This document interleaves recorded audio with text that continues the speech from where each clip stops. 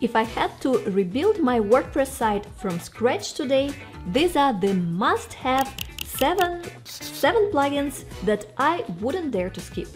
Why? Because after testing hundreds of plugins over the last 8 years, I know which ones are worth it and which ones are just slowing down your site. Let me save you weeks of trial and error. And if you're like me and you want to have a written version to refer back to later, I made a clean list for you on my blog.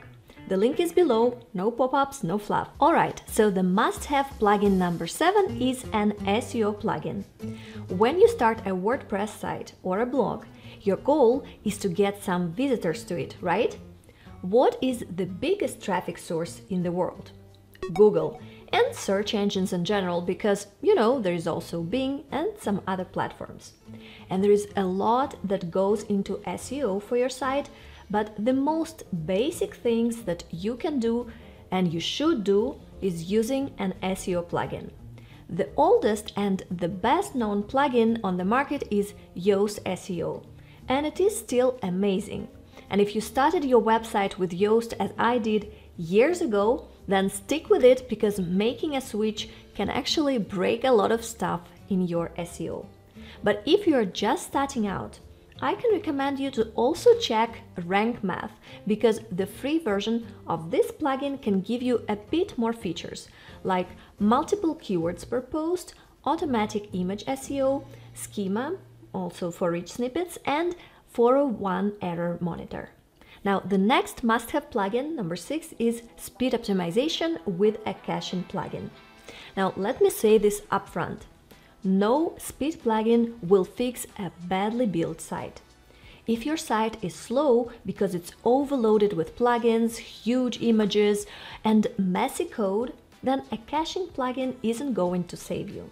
Speed tools are meant to boost an already well-built site not create miracles. And your hosting provider is a big deal when it comes to the site speed. When you pay for a hosting service, make sure that your host does offer CDN, servers around the world. If they don't, then your site will be slow for visitors far from your server. For example, Hostinger, which is the hosting provider that I would recommend if you're starting a WordPress site today, they offer this on their most popular plan over here. And yes, your caching plugin should match your host. So for instance, if you're on Hostinger, then you should be using the LiteSpeed Cache plugin. It helps your website load faster by caching pages, compressing files, optimizing images, and reducing server load. It does all of it and you don't need to touch any code to set this up. We're moving to the next plugin, but if you learned something new and helpful in this video, give me a like. And if you have any questions, I will hang out with you in the comment section and I'll do my best to answer all of your questions. The next must-have plugin is a plugin for legal user consent. Okay, a lot of beginners have told me that they're nervous about getting sued. And it makes sense. People are fed up with websites collecting their data without asking. That's why cookie consent is a must-have for your site. You've probably seen those little banners that pop up when you visit a site. That's what I'm talking about. If you're collecting any kind of data, like tracking visitors with Google Analytics, which you will want to do, then you need to stay compliant with privacy laws like GDPR, CCPA, and ePrivacy. That's why I think the plugin called CookieBot CMP from Usercentrics is a must-have. Since I was going to mention it in this video anyway, I reached out to them and they kindly sponsored this part of the video. So it's a cookie consent tool that automatically scans your site, identifies cookies and blocks them until visitors give their permission. And the best part is that it's totally free for smaller websites that can get less than 1000 sessions per month. And as your site grows, their paid plans start at just $8 per month no tech skills are required, and by the way, it doesn't only work on WordPress, but also on Shopify or Wix, so you just install it like any other plugin or app.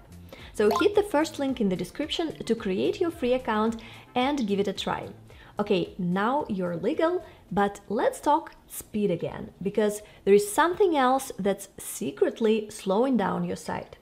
It's probably the last thing that you would expect. And I'll show you how to fix that next. So the next plugin is a plugin for image optimization. Images on your site are the biggest contributor to slowing it down. And slow site has lower chances of ranking well in search results. So you have to do your best to reduce your image size without losing too much quality. When you take photos with your phone or camera, they come out in a high resolution and the image file can be too large. If you have a website with lots of images on every page, like I do on my blog, for example, you definitely need to do something about these images. Of course, even before you upload your images to the WordPress media library, you should do your best to reduce their image in any of your image editing tools. But oftentimes, even that is not enough. To optimize your images to the max and in an automated way, you should install an image optimization plugin. And the best option that I can recommend you is ShortPixel. I use it on my own blogs, but if you are uploading more than 100 images a month, then you will need to use ShortPixel's paid version. It's not very expensive anyway, and you can purchase a pack of 30,000 images in advance for just $20. And it will optimize your new images as you upload them. But I understand that as a beginner, you might prefer to use a completely free plugin, so Imagify is my second best option. You will be able to optimize about 200 images per month for free here, and then of course you would still have to pay for their paid plan. Quick question for you. Which plugins are you using right now? Pause and drop it in the comments. Maybe I missed something really important. And let's keep going. So the next must-have plugin is for website backup. Imagine this. You've spent months creating content, optimizing your site, and finally starting to see some traction. And then, out of nowhere, a plugin update fails, or your site gets hacked and everything disappears. This happens so often, not having a proper backup system. I don't have to imagine this because it happened to me in real life and more times than you will believe in the first year of blogging, while I was doing some necessary regular WordPress updates. It's a nightmare scenario, but beginners face this more often specifically because they don't use a backup plugin. So I can recommend you Duplicator. It's a WordPress plugin that allows you to create a full backup of your site. If something goes wrong during an update or migration, then you can restore your site in minutes. It also has backup presets for specific site components and cloud storage integration with platforms like Google Drive and Dropbox. What I love the most is how beginner friendly it is. Even if you're not tech savvy, you can set it up in just a few clicks. It saved me more than once from losing valuable work on my site.